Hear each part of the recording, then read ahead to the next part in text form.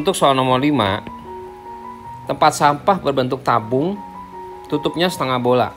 Jadi di atasnya itu harusnya setengah bola ya.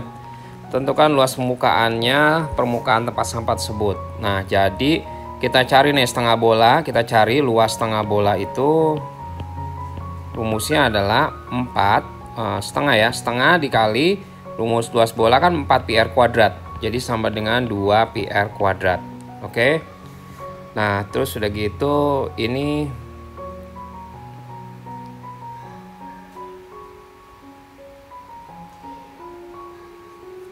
Nah, selanjutnya gimana nyari jari-jarinya? Sekarang kalau kita perhatikan di sini kan ada 20 nih tingginya ya.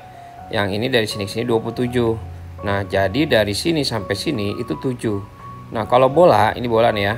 Bola ini kalau ini kan uh, 7 ya, jari-jarinya ini ke 7 juga.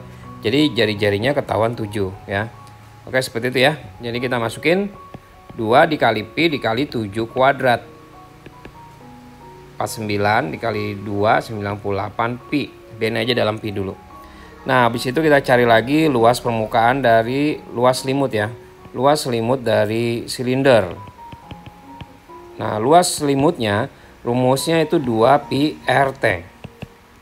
Jadi 2 Pi dikali jari-jarinya 7 tingginya adalah 20. Oke. Nah, jadi kita kali 2 kayak 7 14. 14 kali 2 280 pi. Ya, satuannya di sini semuanya cm persegi ya. Nah, satu lagi jangan lupa ada luas lingkaran. Yang bagian alas kan perlu diperhitungkan. Kalau enggak dia nanti jadi bolong ya kan. Jadi uh, pi r kuadrat jadi sama dengan pi dikali 7 kuadrat sama dengan 49 pi. Nah, cara mencari totalnya kita tambahin aja semua. Jadi ntar kita hitung ya. Hasilnya 427 pi cm persegi.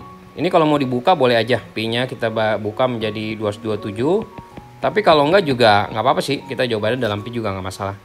Oke.